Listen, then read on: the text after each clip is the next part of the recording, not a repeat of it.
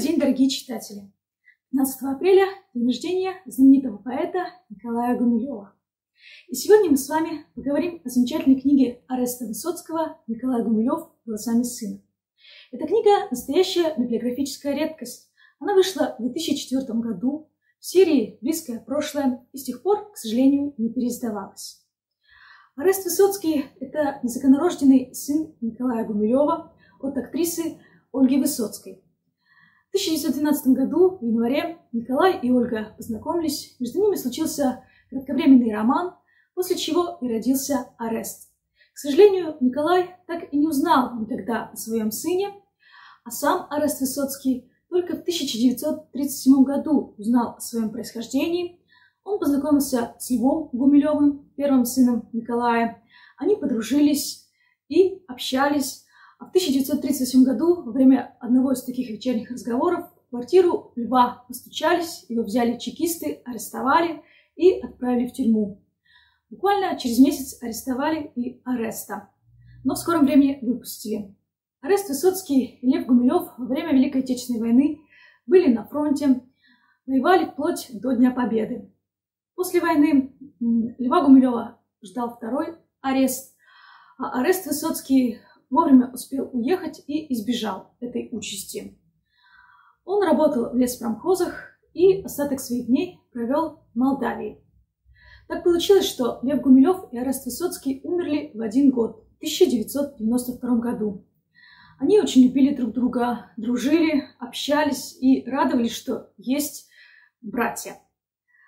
Анна Ахматова и Ольга Высоцкая тоже дружили, переписывались и Анна Ахматова подарила даже несколько своих книг Ольге Николаевне.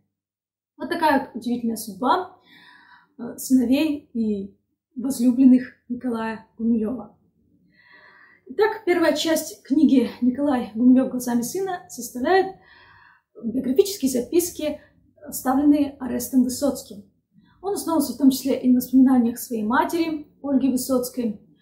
А вторую часть этой книги представляют собой воспоминания современников, которые знали Николая Гумилева. Эти воспоминания собрал Вадим Крейт, профессор Американского университета. И воспоминания построены в сюжетном порядке для того, чтобы нам с вами было интересно читать, для того, чтобы мы смогли составить полный портрет Николая Степановича Гумилева. Вообще книга очень замечательная. Она снабжена также редкими фотографиями, причем не только фотографиями самого поэта, но и его родственников, его друзей, его современников, э, также рукописей. То есть книга представляет собой большую ценность и замечательный слог в ней. Арест Высоцкий пишет большой, с большой любовью о своем отце, но и с беспристрастностью, то есть не восхваляет так без оглядки своего отца, а говорит о нем так, как было, так, как есть.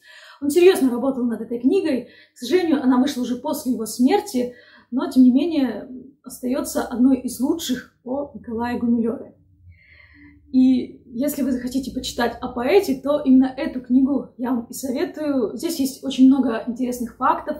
Мы можем узнать о родителях поэта, о его непростом детстве. Он был болезненным, но очень любопытным ребенком. Об учебе в Царскосельской гимназии, затем в Сорбонне, а до этого он еще успел познакомиться с Анной Горенко, будущим поэтом Анной Ахматовой, о том, как завязался у них непростой роман, о том, как они поженились, у них родился сын Лев. И, конечно, впоследствии Николай выпускает несколько сборников стихов, организовывает цех поэтов, появляется новое литературное направление – акмеизм, инициатором которого был как раз Николай Степанович Гумилев. Когда началась Первая мировая война, Николай Гумилев уходит на фронт вольно определяющимся то есть добровольцем, несмотря на то, что у него было плохое здоровье, но тем не менее он уходит на фронт и там получает два Георгиевских креста за свои подвиги. За какие именно подвиги вы можете прочитать в этой книге. После окончания Первой мировой войны Николай Гумилев оказывается в Париже, в Британии, и у него встает выбор либо остаться за границей, либо возвращаться в Россию. Он принимает решение вернуться в революционную Россию, хотя там ожидает его холод, голод, нехватка денег, борьба за жизнь, национализация. Но, тем не менее, Николай Гумилев никогда не отчаивался, и каждый свой период жизни он считал самым лучшим. До конца своих дней он работал, занимался переводами, читал лекции для моряков, для рабочих. И, конечно, выпускал свои лучшие сборники стихов, которые навсегда вошли в историю русской поэзии. Об этом все вы можете прочитать и о том, как закончилась жизнь Николая Степановича, о том, как его арестовали, обвинили в заговоре Таганцева, профессора. Более 40 человек по этому делу были расстреляны, в том числе, к сожалению, и Николай Степанович Гумилев. Но сейчас уже понятно, что это дело было сфабриковано, и что Николай Степанович не был ничем виноват, но на тот момент жизнь его оборвалась в 35-летнем возрасте, к сожалению. А воспоминания о Николае Гумилеве особо ценные, потому что действительно это современники, которые знали его, и они оставили замечательные записки. Из этих записок мы можем узнать, что Николай Степанович хоть и любил церемонии, всегда очень вежливо держался, но с близкими людьми он был очень простым человеком, никогда не играл никакую роль, а был искренним всегда был готов помочь и прийти на помощь. Большинство современников отзываются о нем как об очень ценном, важном человеке для русской поэзии, не только как о поэте, но и как замечательной личности, очень смелом и храбром человеке. Например, писатель Василий Немирович Данченко оставил такие воспоминания. Он не мог иначе мыслить, как образами. Я помню, как-то он приехал ко мне. Нет ли в ваших коллекциях или библиотеке рисунков, сделанных африканскими дикарями? Тогда у меня была большая библиотека, собранная в далеких странствиях. Увы, от нее ни следа. Второй такой не составить. Где она теперь? Зачем вам? Я пишу биографию в стихах. Самая поэтическая наука, из нее делают какой-то сухой гербарий. Сейчас у меня Африка, черные племена. Надо изобразить, как они представляют себе мир. Я не знаю, что из этого вышло, пишет Василий Немирович Данченко. Издатель нашелся, я видел первые печатные листы. Он не только как поэт сам увлекался часто даже странными идеями. Нет, он, Николай Степанович, умел зажигать и окружающих, случалось совсем несвойственным им энтузиазмом.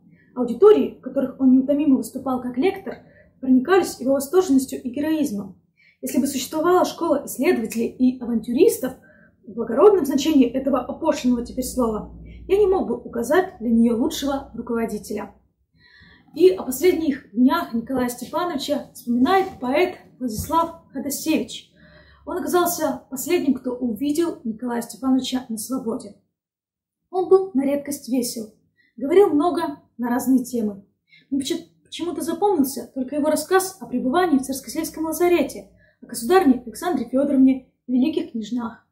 Потом Гумилев стал меня уверять, что ему суждено прожить очень долго, по крайней мере, до 90 лет. Он все повторял. Непременно до 90 лет, уж никак не меньше. До тех пор собирался написать кипу книг, упрекал меня. Вот мы однолетки с вами, а поглядите, я, права, на 10 лет моложе. Это все потому, что я люблю молодежь. Я со своими студистками в жмурки играю, и сегодня играл. И потому непременно проживу до 90 лет, а вы через 5 лет скиснете. И он, хохоча, показывал, как через 5 лет я буду, сгорбившись, волочить ноги, как он будет выступать молодцом. Прощаясь, попросил разрешения принести ему на следующий день кое-какие вещи на сохранение. Когда на утро в условный час я с вещами подошел к дверям Гумилева, ни на стук никто не ответил. Столовый служитель Ефим сообщил мне, что ночью Гумилева арестовали и увезли. Итак, я был последним, кто видел его на воле. В его преувеличенной радости моему приходу, должно быть, было предчувствие, что после меня он уже никого не увидит. Много таких вот замечательных воспоминаний в этой книге. Я вам советую прочитать эту книгу Ареста Высоцкого Николай Гумилев «Глазами сына». Она находится в Центральной городской библиотеке имени Ломоносова города Архангельска. Также в нашей библиотеке есть и другие замечательные книги о Николае Гумилеве. Пожалуйста, приходите и читайте. До новых встреч!